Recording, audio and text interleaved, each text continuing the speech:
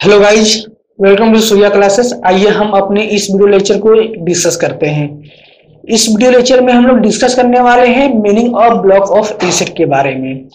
हम block of asset के बारे में क्यों डिस्कस करने वाले हैं? पहले आप इसके बारे में समझ लीजिए ब्लॉक ऑफ़ एसिड जो कहा गया जो डिप्रिसिएशन का कैलकुलेशन किया जाता है इनकम टैक्स एक्ट 1961 में, वो opening W of the block of asset opening W of the block of asset में कुछ हम ऐड कर देते हैं। उस एसिड की वैल्यू को जो हम उस प्रीवियस ईयर में एक्वायर किए रहते हैं।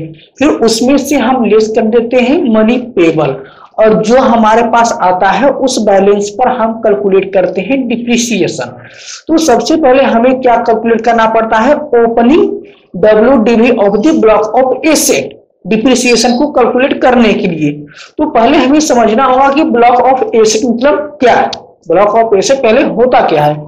हम लोगों ने डिस्कस किया है कि जितने भी एसेट, एक बिज़नेस की जो भी कैपिटल एसिड होती है, उनको हम फोर कैटेगरी में डिवाइड कर देते हैं। पहला कैटेगरी जो हमारा बनता है, बिल्डिंग का। सेकेंड कैटेगरी हमारा बनता है, मशीनरी का। एंड थर्ड कैटेगरी हमारा जो होता है, प्लांट एंड फर्नीचर का होता है। And last and fourth category जो हमारी होती है, वो होती है इंटेंजिबल एसेट की। तो ये तो हमारे मुख्य कैटेगरी है, जो एसेट को हम डिवाइड करेंगे। देखिए, जैसे हम अपने एसेट को कैपिटल एसेट को डिवाइड किसमें करते हैं? फोर कैटेगरी में डिवाइड कर दिए ओके लेकिन इसमें क्या होता है कि जैसे हमारा पहला कैटेगरी हम बिल्डिंग का बनाए हुए हैं, ठीक है? पहला कैटेगरी हम बिल्डिंग का बनाए हुए हैं। तो बिल्डिंग में भी कई तरह की बिल्डिंग आएँगी। बिल्डिंग में भी कई तरह की बिल्डिंग आएगी। एक वह बिल्डिंग आएगी जो कि रेसिडेंशियल पर्पज के रूप रेसिडेंशियल पर्पज के से यूज़ में की जाती है। रेसिडेंशियल पर्पज के लिए। रेसिडेंशियल पर्पज के मतलब एसएससी के रहने के लिए नहीं। जो उसके बिज़नेस में एम्प्लॉय वर्क कर रहे हैं, उनको रखने, उनको रहने के लिए जो बिल्डिंग यूज़ की जा रही है, वो होगी। और एक ऐसी बिल्डिंग जो कि फैक्ट्री जो कि फैक्ट्री की तरह की होगी।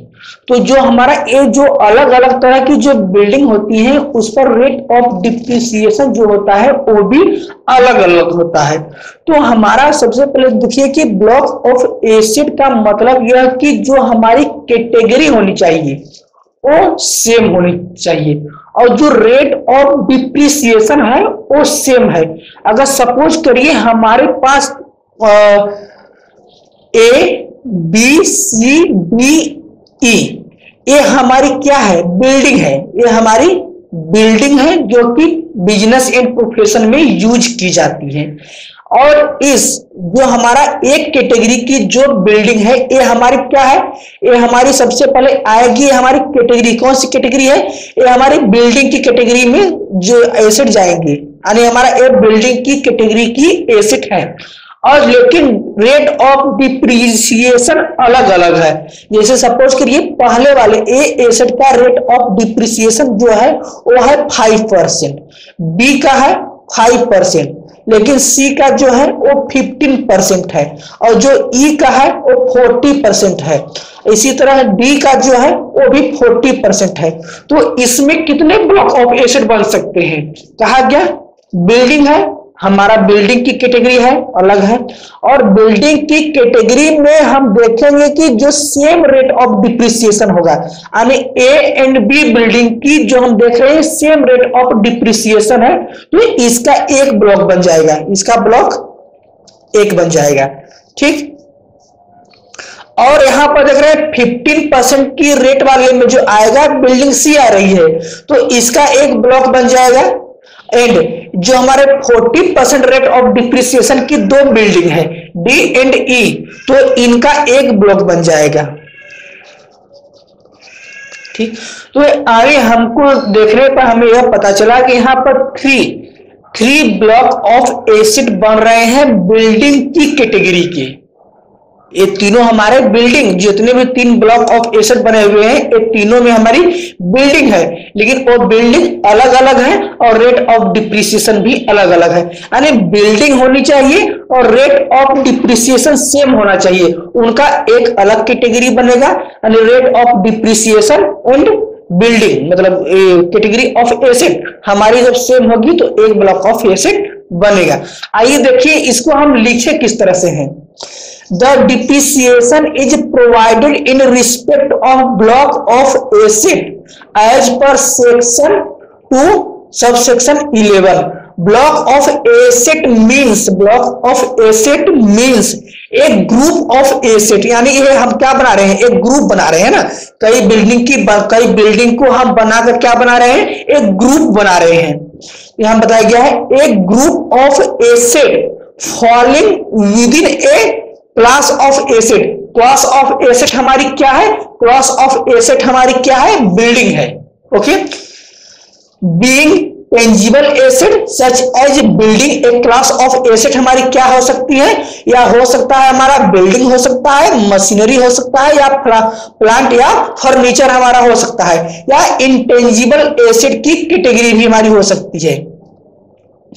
Being know how patent copyright trademark licence franchises और एनी अदर बिज़नेस और कॉमर्शियल राइट और right of similar nature in respect of which same percentage same percentage of depreciation is prescribed यानी हमारी क्या होनी चाहिए?